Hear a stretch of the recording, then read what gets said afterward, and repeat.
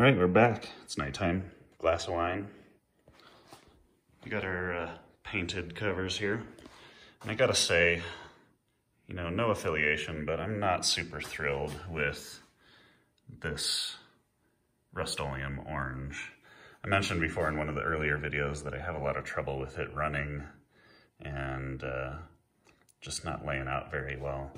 And it's really just the orange. I've had good luck with other colors. It's something specific about this orange that I'm not a big fan of. Um, I don't know if you can see it here on the video, but we got a little bit of running. There's a little sag there. I think you can see it in the light. Um, a little bit of sag from that last coat of paint. And then the other part is that last coat of paint left like this orange peel kind of surface finish on there. Um, it's just really inconsistent from can to can and coverage wise. Not been having the greatest luck with it. So, but it's just a file cabinet in the shop. So we're gonna put it together now. Back over here. I had this bucket of screws from the previous assembly and it was a mix smash. I'm not sure if this was from two different versions of the same cabinet because there's two dominant style of screws. We got this uh, um, got this cap headed screw with a lock washer and then, oops, focus. Uh, cap headed screw with a lock washer and then a, uh, um, a countersunk screw that was a, come on, focus. That was a Pozidriv. Um, it was about half and half and I wanted to make it consistent. So I went down to the local hardware store and picked up some screws to match. And what we got here is uh, number 10 by 32 threads per inch by 3 eighths long cap screws and some matching lock washers. Um, I wanted to call out something interesting about this. I almost made a, uh, a critical mistake. Um, that would have cost me quite a bit more money. Number 10 by 32 screws uh, are almost identical in size and thread pitch to a metric M5 by 0.8 millimeter thread. Um, and so I had gotten everything I needed for metric, thinking that that was what I needed. It seemed like it was the right fit visually and, uh, and testing the thread fit in a nut. Um, and then I thought to myself, this is a government surplus cabinet from the National Labs from sometime back in, you know, somewhere between World War II and the present. And what are the odds that that cabinet was actually manufactured with metric screws? And so I uh, took a walk around the corner at the hardware store to the other aisle and test fit with a American size screw and, or well, imperial screw.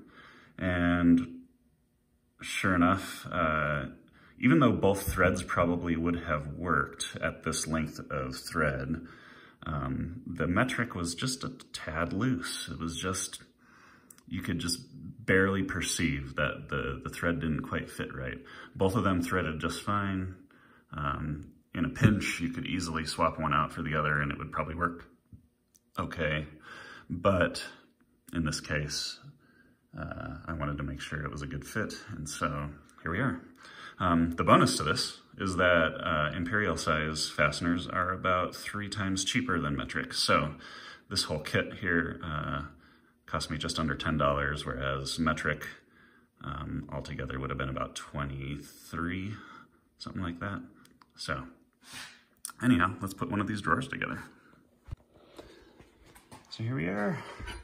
You can see I've already started working on sorting some of my tools into these drawers. This one, uh, as you can see, will be my drill bits and hole saws drawer. Um, a couple Forstner bits down there as well.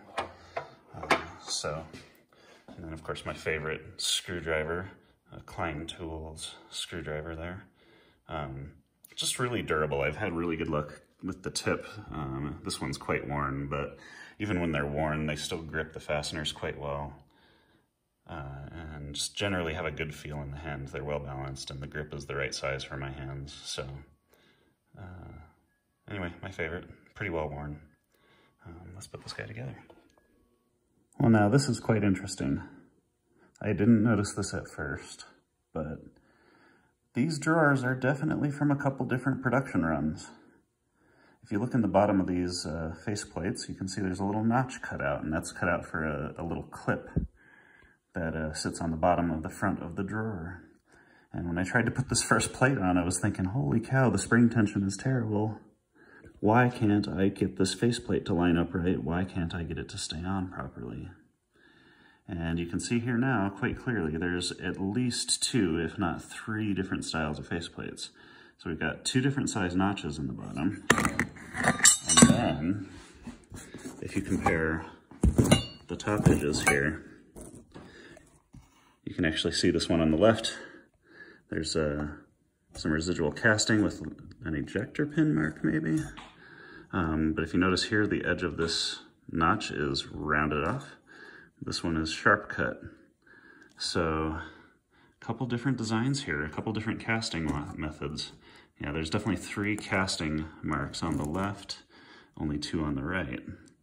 Um, and then moving to here, we've got two casting marks, but a shallow clip indent. So there you have it. There's at least three different faceplate styles here.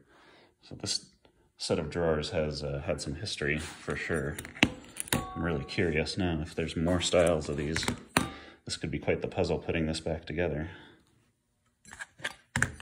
Ooh, it's cold. Back in the shop, new set of sleeves, halfway done.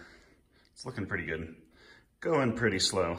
The springiness of these little panels is uh, making it difficult to get these back on, but we're making progress. Um, I'm not sure if I pointed this out in the beginning, but these have like a, of course these are all tight. There you go, you can see there. They're meant to hold a paper card to label what's in there. Just this little bit of springiness and you can slide a card up in there.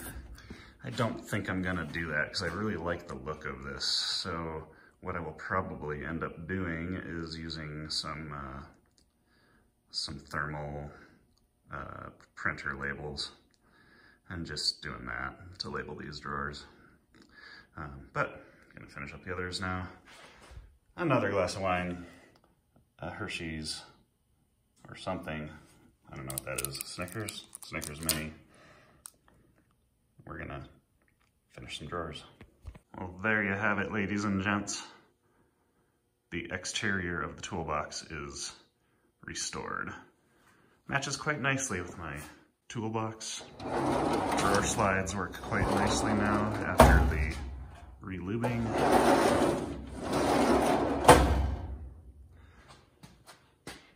Now to uh, do some of the other things I promised, like filling those holes.